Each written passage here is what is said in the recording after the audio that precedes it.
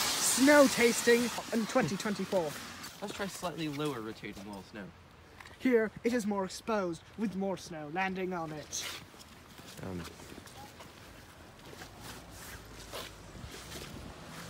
hmm, uh, oh. His opinion has not changed. Wall snow is not as good as grass snow. I think it was because it was on the moss. It now tastes like old cabbage.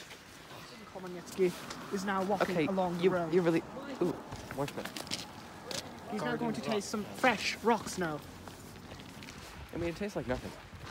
It tastes like nothing. A splendid appraisal. Tall grass snow. Oh, it melted. Tall grass snow is just too thin to be eaten before melting. Let's try a different piece of rock snow.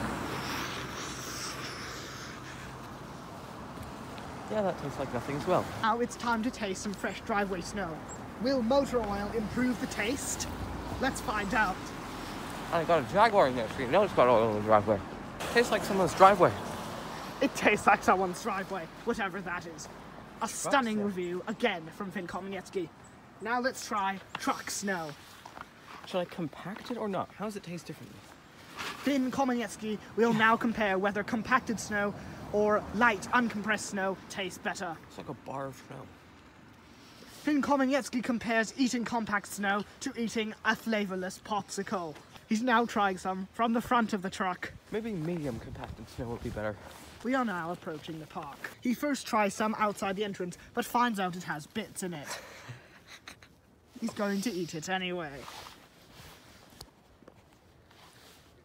I'm, I keep trying to find snow that tastes like something. Ooh, maybe I should have some of that lemon snow.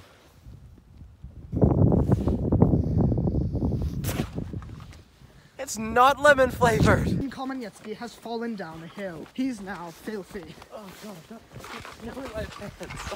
He has snow in his trousers. Finn Komuniecki will eat snow right off the ground, also like a dog. He's now trying to catch snow out of the air, but unfortunately, it's just not falling fast enough. Feed me some snow. Yes, sir. Will chlorine from this water park improve the taste of the snow? Finn Komuniecki will try it out. I can taste the Giardia. I just want to Finn eat- has now run out of places to eat snow. No, I haven't. He's now eating snow right out of the grass. I think I see some chocolate flavored snow too. Ooh.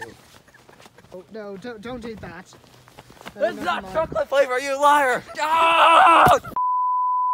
Finn Komuniecki now tries a rare delicacy, bench snow.